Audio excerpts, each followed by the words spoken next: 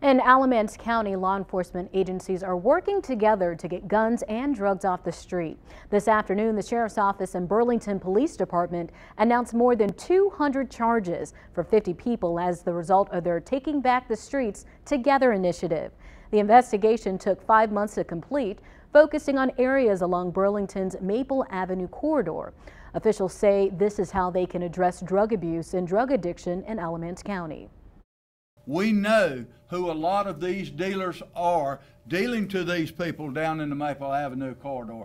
And we have to identify them and seek them out and, and see that justice is served.